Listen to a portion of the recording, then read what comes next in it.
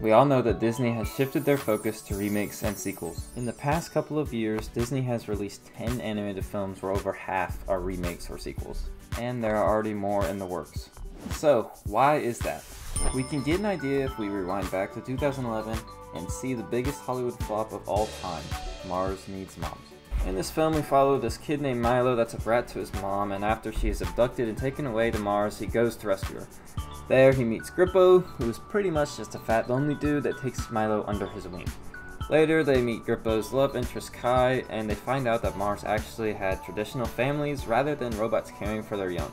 The final act shows Milo saving his mom and Mars returning back to his traditional family way of living. The film really has three separate stories being told at once. The first being that we should appreciate our moms and treat every day that we have with them special. The second is that the minor character finding purpose with his love interest in the Martian Kai. The last storyline, and also the most interesting, is that Mars doesn't actually need moms, but it needs families. So, how did they lose over a hundred million dollars on this? The art style for this film is just so weird and unsettling that it turns people away but you can see why they chose to go in this direction. Previous films, such as The Polar Express, and A Christmas Carol actually did really well and used a really similar art style, so Disney just saw this as a big dollar sign.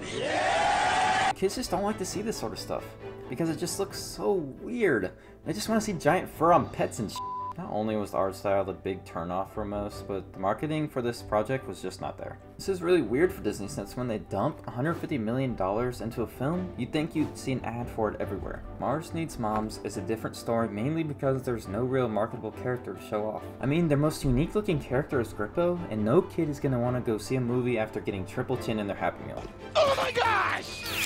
Also, there's just no real recognizable talent in the entire film. I mean, in The Secret Life of Pets alone, there's a list of recognizable actors. I mean, we got Louis C.K., we got Kevin Hart, we got Ellie Kemper, we got Jenny Slate, Eric Stonestreet, and the list goes on. In Mars Needs Moms, we just have a bunch of nobodies. The lead actor is played by Seth Green, who is best known for his role in Austin Powers where he plays Dr. Evil's kid. Hello, Scott. Hi. In most film, most of the budget goes straight for the talent just so you can attach a face to the film. However, in Mars Needs Mom, most of the budget went right to the development of the film. Every character was motion captured and the environmental design of the film is actually really well done. There are some really beautiful shots in the film, and the story really isn't too much to cry over, especially for a kids movie. But when we take a step back and we compare budgets between Mars Needs Moms and other films, we can really see what went wrong. And it's really a shame because the film isn't actually half bad. It really just comes down to the audience. This is aimed at kids and it just looks weird. The title also has its problems since, according to studio execs on Mars Needs Moms, boys don't want to watch something that has the word mom in it. Not only is the title screwed, but the movie is also just dark. We find out that Grippo's mom was also abducted when he was a kid and he literally watched her die. Also, all of the male kids are abandoned and thrown down into this Mars version of a junkyard.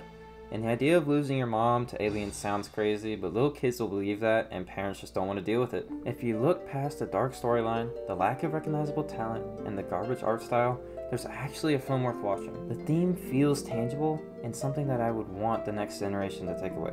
The characters teach us lessons that can apply to you no matter how old you are, and the values it passes along are valuable to note. But should you watch it? Hell no, mother